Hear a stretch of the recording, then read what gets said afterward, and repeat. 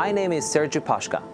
For the past 13 years, I have been developing new technology that allows us to grow living tissue that mimics specific regions of the human brain and can be created from any person using stem cells derived from their own skin or blood.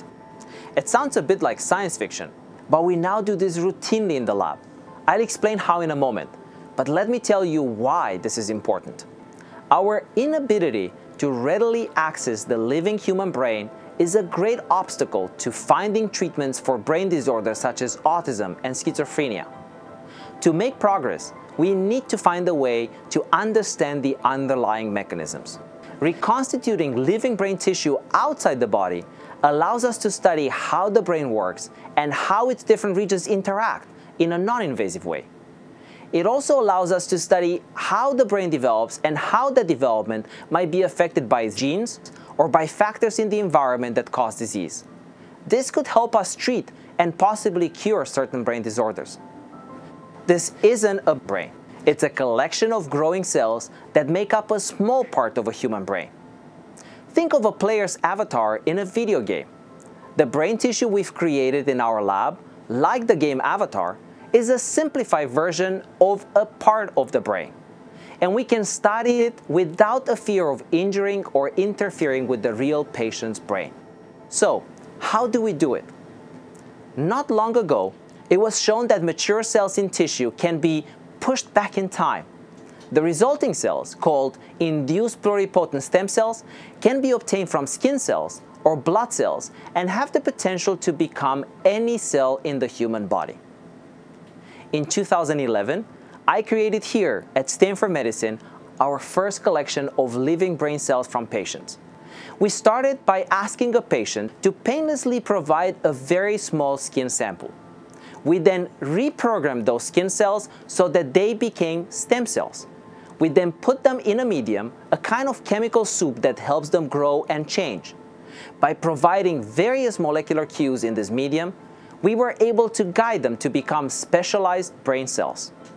These cells grew at the bottom of a lab dish and acquired the dish's flat, two-dimensional shape, which is very different from the three-dimensional shape they have inside the body. They also didn't last long, and we needed a way to be able to observe their development over a greater period of time. That was when we started trying to create more complex cultures. By using a variety of techniques, we coaxed the stem cells to come together into a three-dimensional round cluster of cells that we called a spheroid after its shape. Unlike the flat collection of brain cells, these three-dimensional spheroids could be maintained for years, allowing for the development of more complex characteristics. Because these cells could be formed into the tissue of just about any organ, they ultimately became collectively known as organoids. As it turns out, others had been employing techniques to grow 3D tissue like us from other organ systems as well as the brain but those often included unpredictable combinations of cells from the brain and other tissues. The crucial element of our process was careful nurturing or guidance towards specific brain cell types. We use various combinations of molecules in the growth medium to guide the development of our organoids and mimic specific parts of the nervous system. For example, we allowed one to develop into a facsimile of the brain cerebral cortex, the outer layer of the brain that is responsible for our cognition. By using a slightly different molecular combination, we guided another organoid to develop into a structure resembling the developing brain subpallium, which gives rise to cells that fine-tune the activity of neurons in the cerebral cortex. When we put these two together, we discover something really fascinating they started to communicate with each other. They fused. And specific cells started to move and assemble into networks much as they would in an actual brain. So we call this assembly of organoids assembloids and explore other combinations to create models that replicate brain function. One such combination was creating three distinct organoids, one from the cerebral cortex, one resembling the spinal cord, and another resembling muscle. We then put them together and saw the same fusing we saw in the two-part organoid combination. But when we applied a stimulus to one part of the assembloid, the cortical organoid, we saw the skeletal muscle contract on the opposite part. We had modeled for the first time a cortical motor pathway from cerebral cortex to spinal cord to muscle.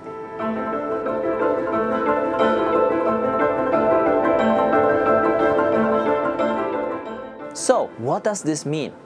Using our assembly technology, we can create complex living models in our lab in order to safely study how disease progresses in a developing brain and, importantly, how we might be able to precisely target and treat it. Through this technology, we've been able to better understand forms of autism, schizophrenia, and how damage might be prevented in premature babies. And we hope to be able to take this knowledge and develop treatments and perhaps cures for this and many other serious and debilitating brain disorders, both acquired and hereditary. We're entering an era of molecular psychiatry, where historically poorly understood disorders can be framed by new biological insights that reveal how our brains and our minds work. The future in this area is very exciting. The technologies for investigating it hold great potential, and we, in the Pașca Lab here at Stanford Medicine and the Stanford Brain Organogenesis program that I direct, are working hard to realize that potential every day.